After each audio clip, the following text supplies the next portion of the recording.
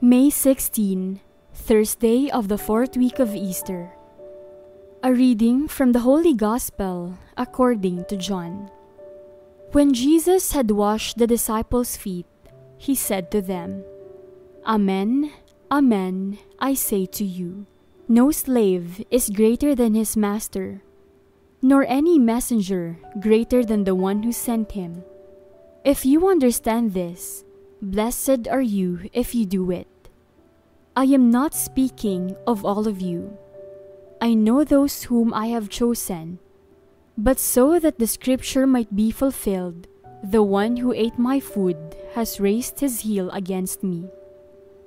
From now on, I am telling you before it happens, so that when it happens, you may believe that I am. Amen, Amen, I say to you. Whoever receives the one I send receives me, and whoever receives me receives the one who sent me. The Gospel of the Lord. The one who ate my food. To illustrate the gravity of Judas's betrayal, the evangelist presents Jesus quoting Psalm chapter 41 verse 10.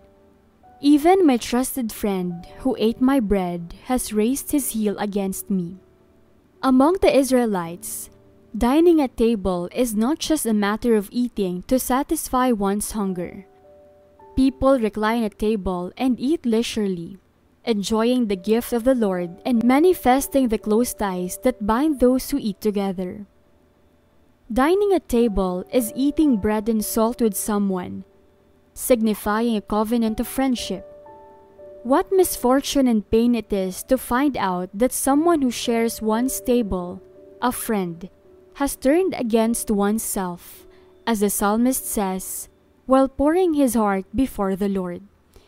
Have we been hurt or betrayed by someone we considered our friend?